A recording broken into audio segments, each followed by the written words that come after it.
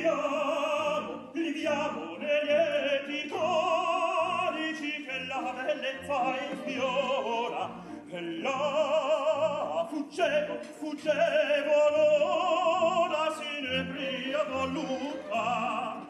Livianne da cifremiti, suscita l'amore, poiché quella fiore